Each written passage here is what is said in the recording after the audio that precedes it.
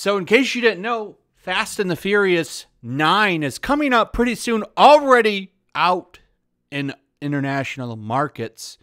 And it's doing pretty well given the circumstances that it's releasing in. I think it's at 160 million worldwide right now.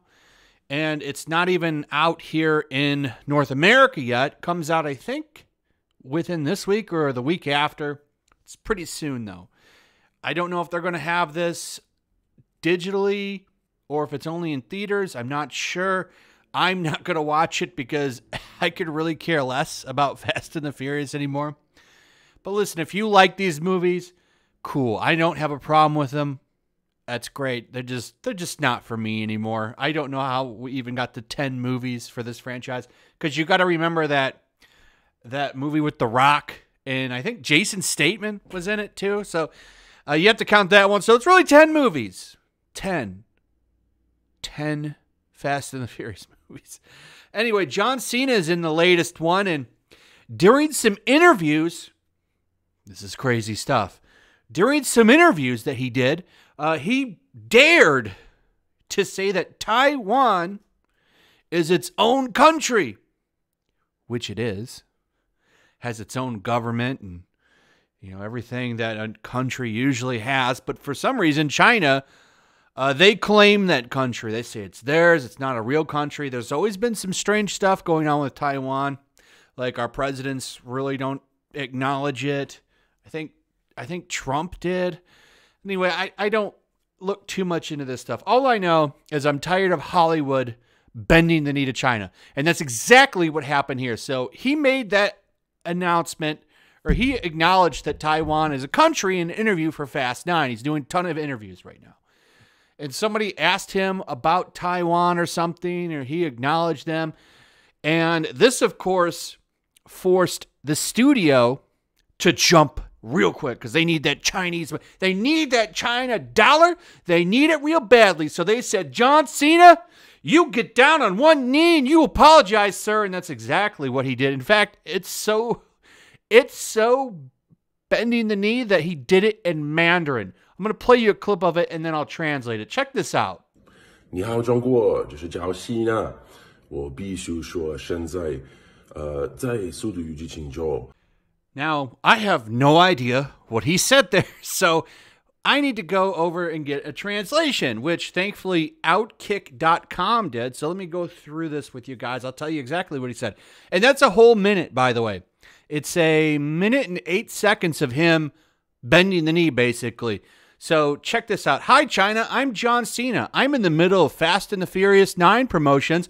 I'm doing a lot of interviews. I made the mistake in one of my interviews. I made a mistake in one of my interviews. Everyone was asking me if I could use Chinese. Movie staff gave me a lot of information, so there was a lot of interviews and information. Said Cena, who started learning Mandarin to help his wrestling promotions integration in China. I made one mistake. I have to say something very, very, very important now. I love and respect China and Chinese people. I'm very, very sorry about my mistake. I apologize. I apologize. I'm very sorry. You must understand that I really love, really respect China and the Chinese people. My apologies. See you. And I just want to add this man, talk about cowering. Is this true? Yes, it's true. This man has no dick. And deservedly, he's getting destroyed on social media right now, big time. People are all over him right now, making fun of him for the fact that he's bent the knee to China. Now, I will say it's not entirely his fault. He was for sure forced by the studio to do this. I've talked about this before. You know, Hollywood bends over backwards to make China happy. They do. They do. But he could have also said no.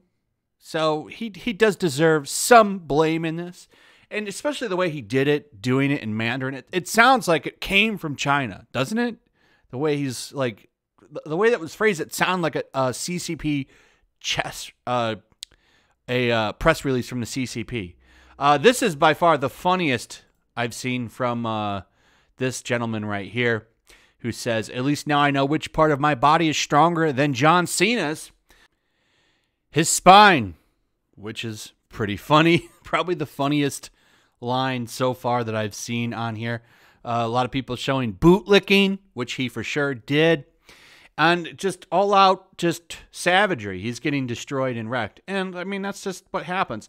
But this isn't going to stop anytime soon. Hollywood has been going out of their way to bend the knee for China. Disney, especially, uh, they got exposed thoroughly by the Hollywood Reporter the other day. I did a video on that on Saturday. Make sure to check that out. It's very, very interesting stuff. Anyway, that's pretty much it. Let me know what you guys think about all this. I'd like to hear your thoughts in the comments below. Also, if you would please like, subscribe, share the video. Make sure you're still subscribed. Hit that notification bell. And I will see all of you on the next one. Peace. Also, if you want to help support the channel, check out my Teespring store. There's a link in the description. You can find some merchandise in there that you might want to check out. Also, take a moment, make sure you're still subscribed to the channel. Uh, there's something going on right now, and they've been unsubscribing people. So just take a second and double check on that and subscribe if you're new.